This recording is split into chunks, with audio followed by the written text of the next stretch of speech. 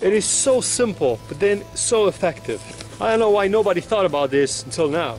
Hey guys, Vegas Romaniac. I don't know how many straps I lost because once you attach the motorcycle to the trailer or the truck, the extra piece, I've tried to wrap it around the fender, like all kinds of knots over here, all kinds of ideas that people gave me. And if you don't do it right, and you're on a 300 mile trip, it's gonna flap like this in the wind and it's going to absolutely obliterate the strap.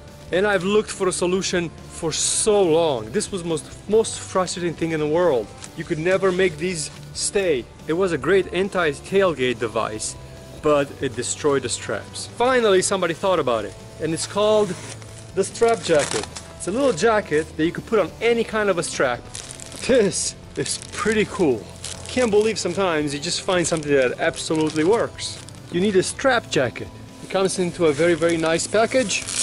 So once you loaded up your bike, you could just take your extra strap. It's a little pouch. You literally just put it in the pouch, folds again with, with uh, Velcro inside, and no more flapping in the wind. How cool is that? And if for some reason you like to double strap, you can just open it up, add the other strap in it. It will fit three or four. Now, no more flapping straps in the wind. I absolutely love this thing. Uh, I'm gonna put a link uh, for their website at the bottom of the video. It's called the Strap Jacket. The strap jacket. And you never have to worry about your straps again.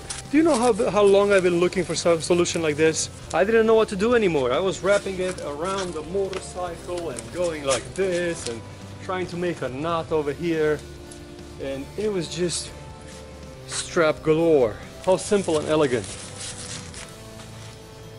How simple and elegant. You need a strap jacket